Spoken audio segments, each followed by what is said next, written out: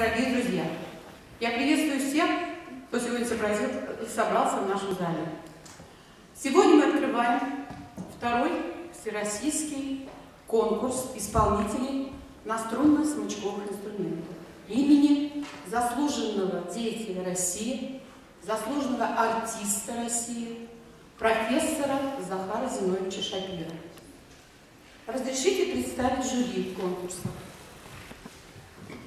Артистка Российской Федерации, заведующий кафедрой струнных инструментов Нижегородской государственной консерватории имени Глинки, профессор Пропищан Софья Наумовна.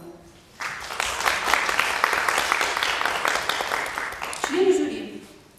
Давыдов Сергей Михайлович, вице-президент Международного благотворительного фонда детского и юношеского творчества «Дети и музыка», организатор детского и юношеского контрабасового фестиваля имени Лазаря Захаровича Васильева, преподаватель детской школы искусств номер 10 города Москвы. Емельянов Сергей Валентинович, заслуженный народный артист Республики Татарстан, руководитель барочного ансамбля «Нобелис», преподаватель ДШИ Приволжского района города Казани.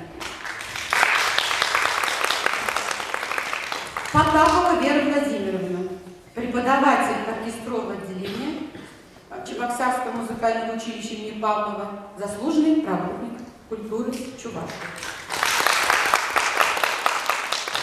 И организатор конкурса – это я, Сакмарова Галина Васильевна, председатель предметно-цикловой комиссии оркестрового отделения Чебоксарского музыкального училища имени Федора Павлова.